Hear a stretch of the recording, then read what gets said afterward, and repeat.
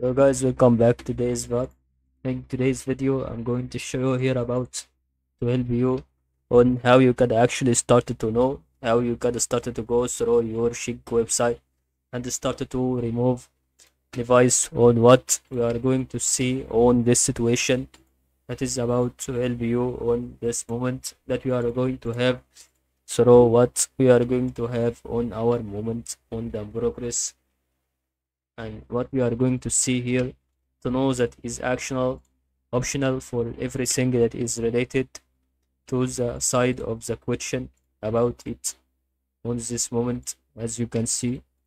to tap on the avatar icon in the upper right hand corner and then select devices. Then once you click on your avatar which is going to be the profile icon and then select devices tab the activate, deactivate button next to the device you want to deactivate and that is all to help you